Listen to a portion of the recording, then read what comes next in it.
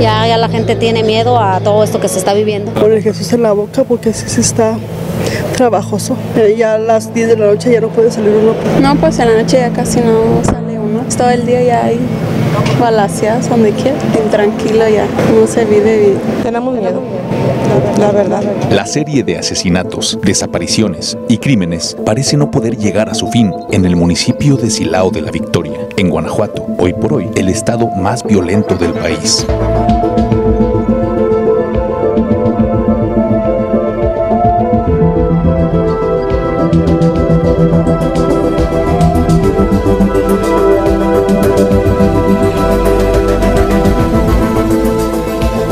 Ciudadanía se sume en una vorágine de terror, mientras el pánico y la incertidumbre van en aumento. La opinión general es que la situación ya se salió de control. Ya a veces decían, no salgas de noche porque hay peligro. Ahorita ya está en el día.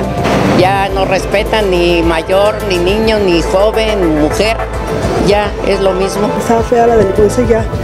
A las 9 de la noche y se queda solo. Escucha uno un balazo y ya, oye, ahora vaya que mataron. Ya no, ya no hay seguridad, ya no hay... En la noche ya no se puede caminar a gusto por el miedo, por la incertidumbre. Hay balazos y uno tiene miedo que le toque la mala suerte de pasar por ahí. Los ciudadanos en este fragmento del territorio guanajuatense ya no confían ni en la policía ni en sus dirigentes. La policía volviendo por ausencia. Hay este, partes en donde la policía no entra por miedo, yo creo. Y el policía luego lo agredió, lo quiso golpear. Yo les decía, detenga por favor las pistolas, van a matar a todas mis hijas. Los policías llegaron muy agresivos. Y a partir del domingo, créeme que no quiero ningún policía cerca de mí. Estaba bien rodeado los policías. Y el que se identifica como principal responsable de esta crisis por la que atraviesa la ciudad es el presidente municipal Antonio Trejo Valdepeña. Toño Trejo, te lo digo a ti, te pido justicia. Por culpa de él, es un mal gobernante. ¿Qué lugar nos cabió la cabeza apoyarlo? ¿Para qué queremos ese presidente? ¿Para que acabe con nosotros? ¿Para que acabe con el pueblo? ¿Con nuestras vidas? ¿Con nuestros hijos? ¿Qué futuro les vamos a dejar? ¿O qué futuro él nos va a dejar cuando deje la gobernadora? ¿Qué futuro? ¿Más delincuencia? ¿Más corrupción?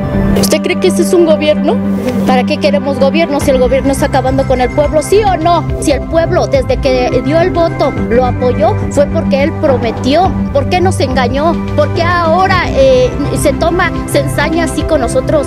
Antonio Trejo, aquí la gente pide que tu apoyo. Toño Trejo, te lo digo a ti, te pido justicia. Antonio Trejo, haz justicia. La problemática ahora se extiende y toma nuevos matices, pues la economía ya está siendo afectada. Se afecta a los negocios porque uno va a la tiendita, pues vete por una pastillita a medianoche, por decir a las 11, 10.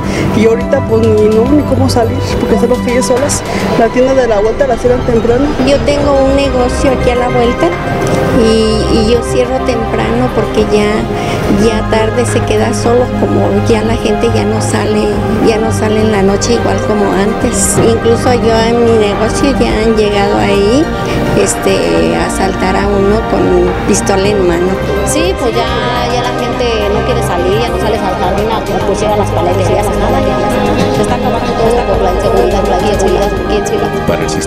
noticias de TV Libertad con imágenes de Javier Soto, informó Héctor Almaguer.